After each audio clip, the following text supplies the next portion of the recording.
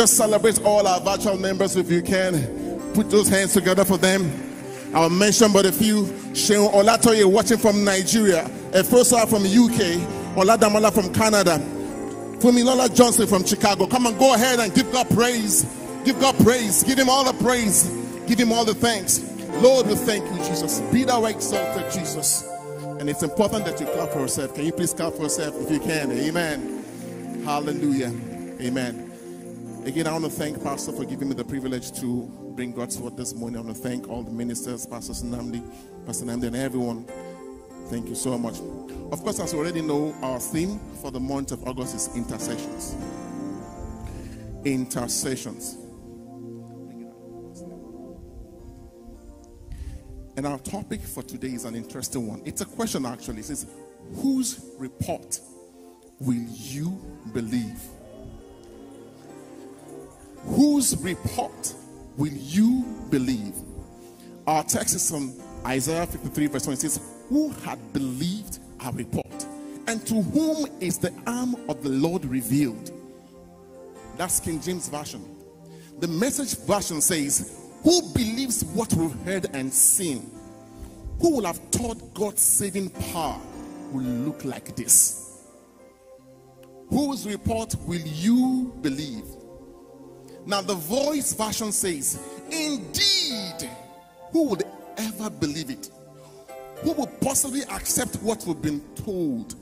Who has witnessed the awesome power and plan of the eternal in action? Whose report will you believe? It's a question I'm asking everyone else this morning. When you are down, when it looks like all hope is lost, when it's like there's no way out, especially when the devil is still whispering failure, how would you react to Joel 2:25, which says, "And I will restore to you the years that the locust has eaten, the cankerworm, and the caterpillar, and the palmer worms, my great army which I sent amongst you." Whose report will you believe? Somebody say, I will believe the report of the Lord. Now, listen. One of the factors capable of holding us back as believers, as Christians, capable of tying us down, capable of creating fear in us, capable of blindfolding us from seeing God's good report and His promises, even when it doesn't look like it, is what? The memories of past defeat. The memories of past defeat will not make you thrive again. You get a job today, you lose it the following week. You get a precious gift today, and the next day it's gone. You prepare for an exam, you fail. Just when you thought you have closed up a deal, and then a client makes a U turn. The symptom is gone today, and all of a sudden you begin to feel it again. The scholarship looks so good, but all of a sudden you lose it. All these memories of defeat has a way of holding us down. In all of this, whose report will you believe? I want you to pray a prayer. Say, Lord, please blot out every memory of defeat in my life. Can we pray that prayer in the name of Jesus? Say, Lord, please blot out every memory of past defeat that is stopping me from believing in you again. Every memory of past defeat, Lord, please blot it out. In the name of Jesus Christ. In Jesus' name, we have prayed. Listen, when your memory is clouded with defeat, the devil inculcates words of failure into you. When your memory is clouded with defeat, most times we make statements like, I will just go and try again. It's not like I will make it. Your the devil inculcates in us words of failure. The devil sets you up to think a win is not possible. No, and the Bible says when the Lord restored his captives to Zion, they were like them that dream. It was like a dream. This is an impossible thing. How is it happening again? Listen, in Second Kings chapter 6, Samaria was under a siege. That's a bad report. There was famine in the land of Samaria. That's another bad report. A donkey's head sold for 80 shekels of silver. Now that's a bad report. Now, to even to, to make you understand that, is the fact that a donkey was regarded as an unclean animal and never to be eaten. Now, to place a high value of the least edible part of the, don- the, of the donkey, which is the head, was the height of it. Donkey's head. I'm not saying ECU because somebody's like, ah. no worry, if you don't understand ECU, you have not missed anything. a quarter of cup of seed pod sold for five shekels. That's a bad report. In verse 29, a woman cooked her son and ate it with her friend. That's a bad report. The king heard and tore his royal robe for sackcloth. That's a bad report. Look at all the things going on. Yet, somebody say, yet. In Second Kings 7, Elisha said, Hear the word of the Lord. This is what the Lord says about this time tomorrow. A seah of flour will sell for a shekel, and two seahs of barley for a shekel at the gate of Samaria. Now, what are the bad reports confronting you? Immigration, marriage, health, job, children. Can you declare the word of the Lord against it now? Declare God's word against it. Declare God's word against it. Go ahead. Hallelujah. Now, the officer who whose arm the king was leaning on was seeing all these bad reports. You won't blame him. And that was why he said, Look, even if the Lord should open the floodgates of heaven, could this happen? And Elisha, said, You will see it, but you will not eat of it. Now, the mistake that man made was the fact that Elisha didn't say, Hear my word.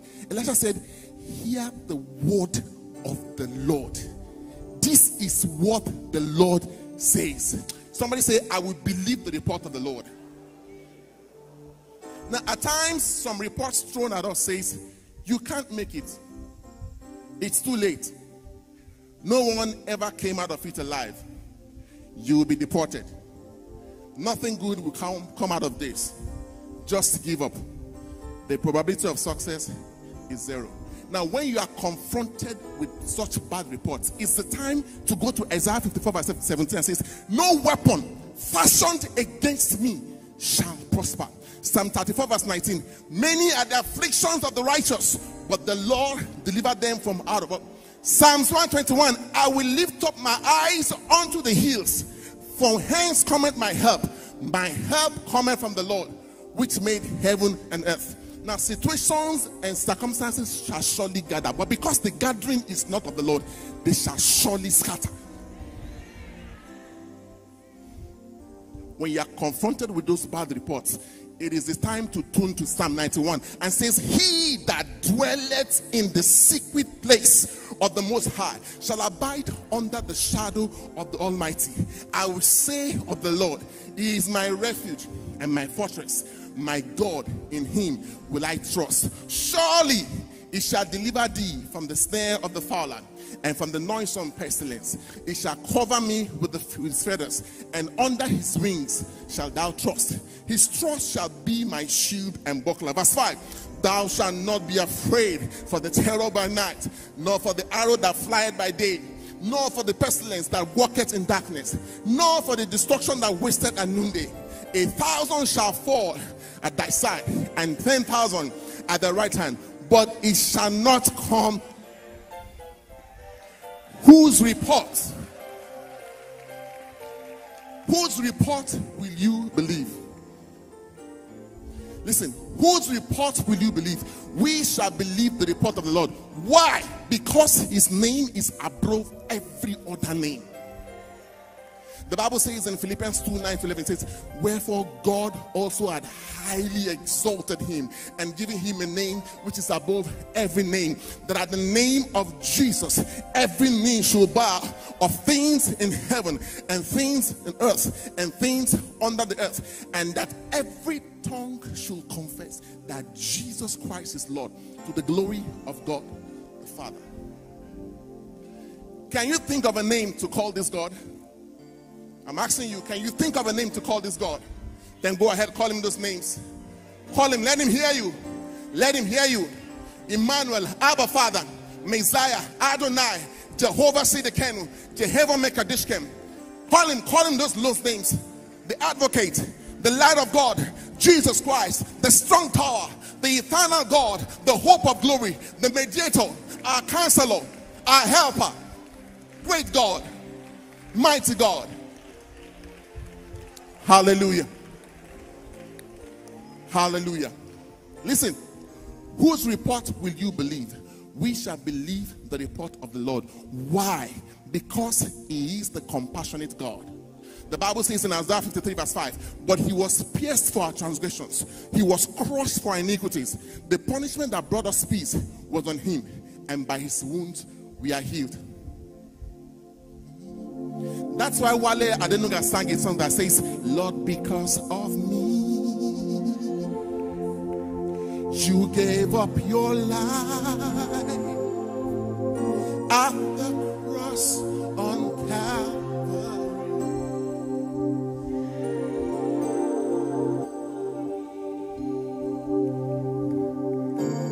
What more can I say? What, What else can I do than to praise, than to praise you from my heart singing hallelujah Listen, whose report will you believe? We shall believe the report of the Lord. Why? Because he is the chain breaker. The Bible says in Psalms 107 13 to 14, then they cried to the Lord in their trouble, and he saved them from their distress. He brought them out of darkness, the utter darkness, and broke away their chains. No wonder Nathaniel Bassey said, The words you speak turn things around. Your outstretched hand has lifted me. You took away the chains and cords that held me down. Listen, listen. Whose report will you believe? We shall believe the report of the Lord. Why? Because he is the beginning and the end. The Bible says in John 1 1, in the beginning was the Word, and the Word was with God, and the Word was God. You must have heard oftentimes Brother Meji sing, Above you is you. Jesus, you are You are the only one in your class. Before you is you. Jesus, you are the only one in your class. Whose report will you believe? We shall believe the report of the Lord. Why? Because He is the only living God. The Bible says in Jeremiah 10, verse 10a, but the Lord is the true God, He is the living God and an everlasting King. No wonder Sinach said, Every other God, they are dead than dead. Jesus died and rose again. We lift Him. In your name, every knee shall bow. In your name, all men are saved. Upon the name. So call his name. Jesus, Call his name. Jesus, Call his name. Jesus. Oh, Jesus. Whose report will you believe? We shall believe the report of the Lord. Why? His name moves mountains and causes walls to fall. The Bible says in Hebrews 11:30, by faith the walls of Jericho fell after the army had marched around them seven days. And you move mountains, and you cause the walls to fall with, with your power perform miracle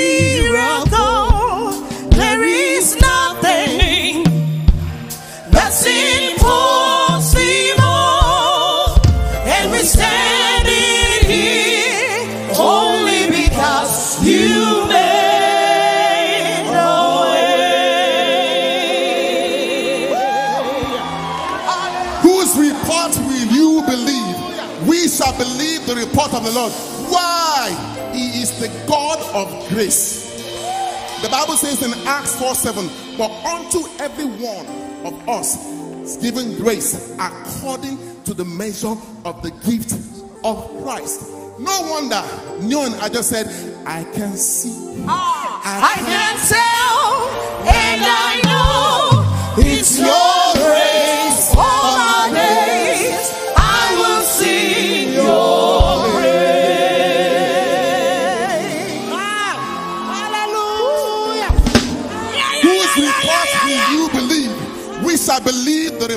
Lord. Why?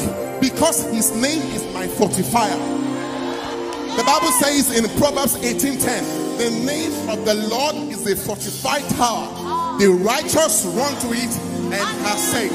My wife wrote a song and said, I, I am fortified by the blood of Jesus. My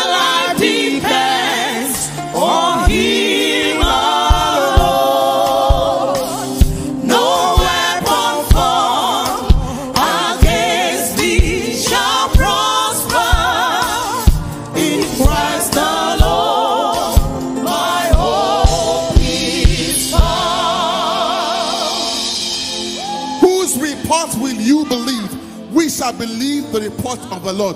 Why? Because his name is Yahweh. The Bible says in Exodus 3:14, and God said unto Moses, I am that I am. And he said, So shalt thou say unto the children of Israel, I am hath sent me unto you. Jesus told me all over wrote it down that says, Yahweh. That's what I call you. That's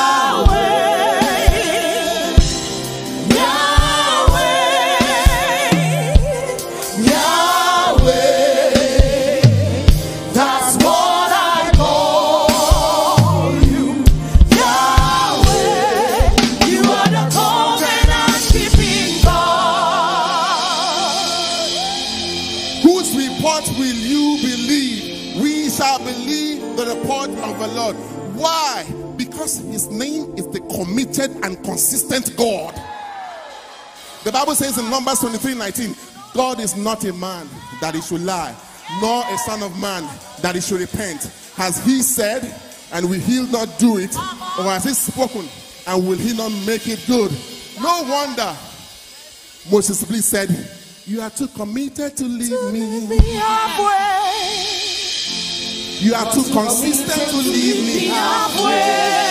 finish. And I've come We do believe, we shall believe the report of the Lord. Why? His thing is God alone. Listen, when your leftover is over, Jehovah takes over. Psalms 18 31 to 32 says, The Lord alone is God. God alone is our defense. He is the God who makes me strong, who makes my pathway safe. No wonder William McDowell says, You are You are God. not alone from before time began. You are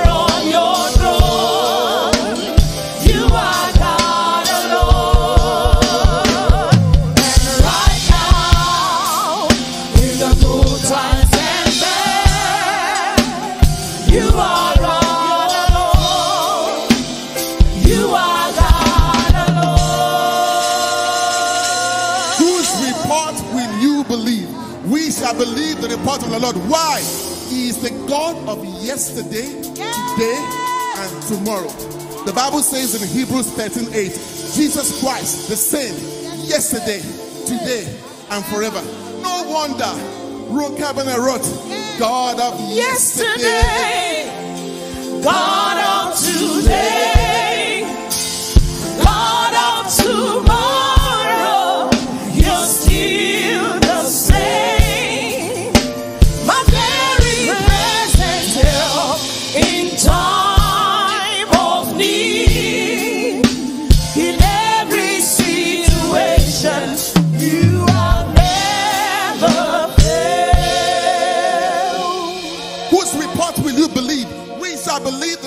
Lord. Why? He is our peace.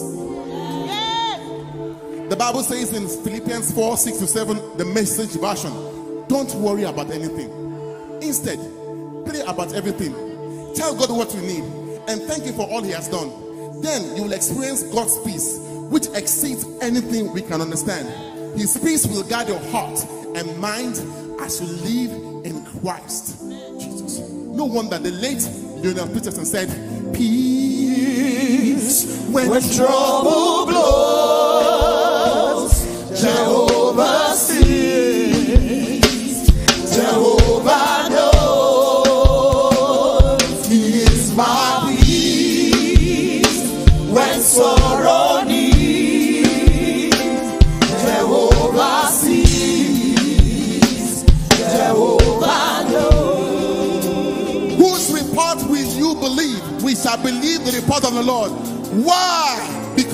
his name is mercy. Titus 3 5 says, He saved us not because of righteous things we had done, but because of His mercy. He saved us through the washing of rebirth and renewal by the Holy Spirit. No wonder, CeCe Winans says, Mercy, Mercy said said no." no. I'm not gonna let you go. I'm not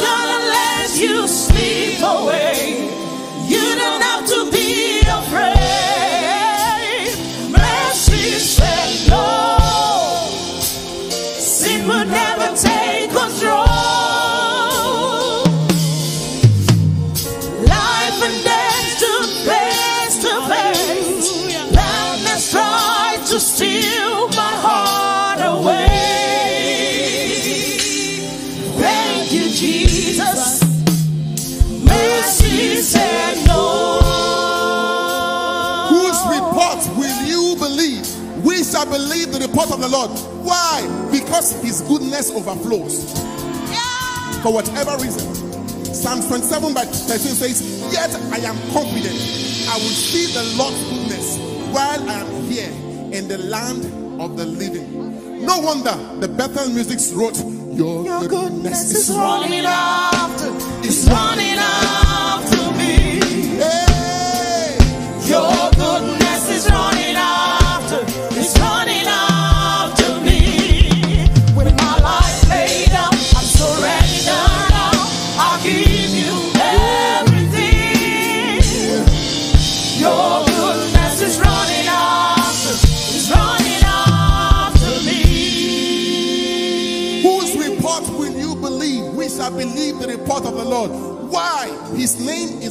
awesome and mighty God. The Bible says in Deuteronomy 10 17, For the Lord your God is the God of gods and the Lord of lords, the great, the mighty, and the awesome God who does not show partiality nor take a bribe. No wonder Rotsi Awana wrote, Awesome God, mighty God, awesome God, mighty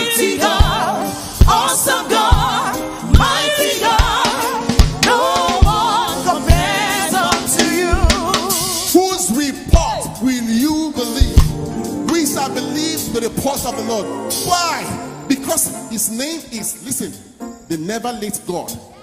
But if he decides to come late, he comes big. Genesis 18 14 says, Is anything too hard for the Lord? At the time appointed, I will return unto thee according to the time of life, and Sarah shall have a son. Listen, in this church, I have seen a couple who waited for 10 years to have a set of twins, two girls. In this church, I know a man who waited for 11 years to have a baby girl. In this church, I know a couple who waited for, for 23 years to have a Hallelujah. child. And Folasha Adebadu wrote, she said, When people think you're late, That's when you come real big. Jesus, I thank you, Lord. What have you done for me? Whose report will you believe? We shall believe the report of the Lord. Why? Is indeed the redemption power. Colossians 1 12 to 14 says, Giving thanks unto the Father which had made us meet to be partakers of the inheritance of the saints in light, who had delivered us from the power of darkness and had translated us into the kingdom of his dear Son, in whom we have redemption through his blood, even the forgiveness of sins. Pastor Tunde Badu wrote, Redemption, redemption power from Jesus, my Redeemer. He shed his blood at Calvary.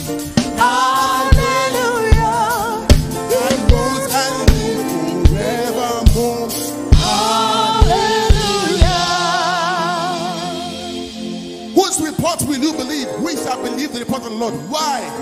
The name Jesus is the answer to every question. The Bible says in Jeremiah 33, verse 3 Listen, call unto me, and I will answer thee, and show thee great and mighty things which thou knowest not.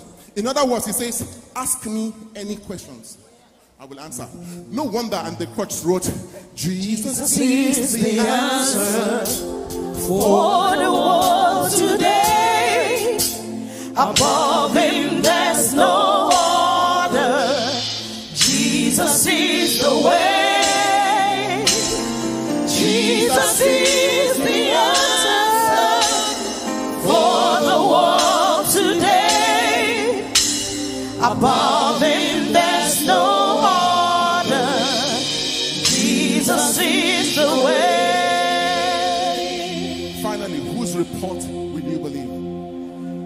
year 2004, in the year 2004, my wife told me that, look, I know you want to marry me, but the doctor said I may never have a child. It didn't make any sense to me. I'm like, no. But because she wanted to be honest, she took me to the to the doctor in Port Harcourt, and he's actually a pastor.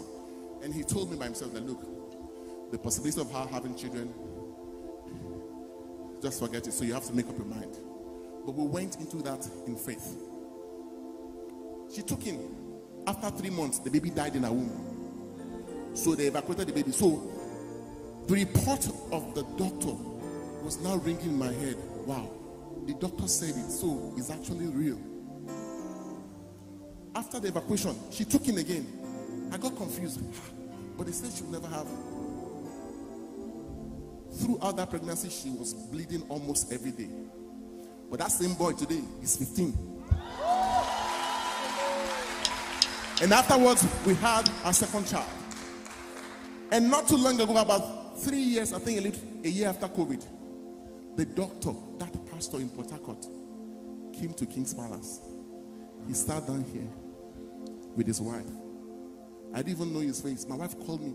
Do you remember that doctor? I said, Yes, that's him. I said, Wow. I said, Go and call Tehila and Shabak. Whose report will you believe? Let's declare, we shall believe the report of the Lord. Whose report will you believe? We shall believe the report of the Lord. Whose report will you believe? Whose report will you believe? We shall believe the report of the Lord. Just go ahead and worship this God.